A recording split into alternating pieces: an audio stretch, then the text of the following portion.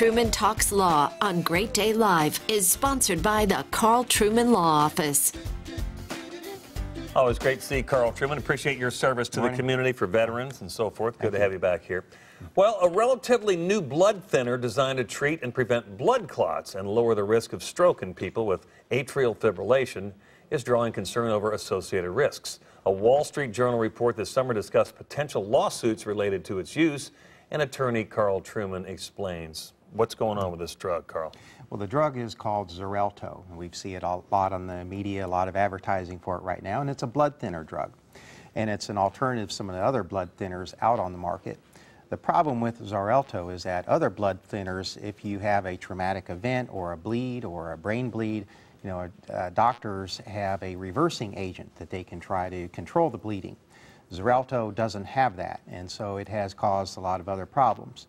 So that, that's what we're investigating right now is any type of incident where someone has had uncontrollable bleeding, could be uh, gastrointestinal bleeding, uncontrollable vaginal bleeding, bleeding on the brain, and it's caused, and there have been incidents of even stroke and even death in these uh, related to this drug. And this drug is widely used, has been widely used for some time? It's, it's uh, yes, it's, well, since uh, 2011 is when it was approved by the FDA, so it's been on the market since that time. And it's uh, been gaining in usage, and so we are seeing uh, situations involving this drug, and which is why I'm here today talking about it. Okay, and then oftentimes when you see those commercials, there's always some fast-talking announcer who says, and they blow past with a bunch of information. Does that not clear a drug company?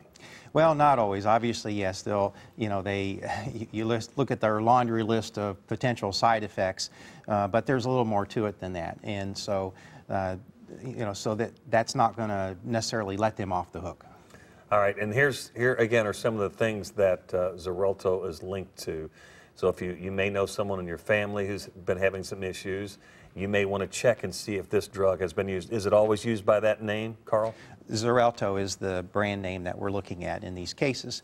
And yes, any type of these conditions that involve bleeding and uncontrollable bleeding, you know, we definitely would like to uh, investigate those claims.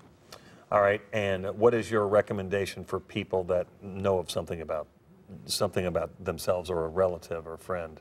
Well, if uh, you you or a friend or relative have had this type of event or you know experiencing any of these bleeding events, then call my office at 502-222-2222 or you can look at uh, Xarelto claimhelp, claimhelp.com.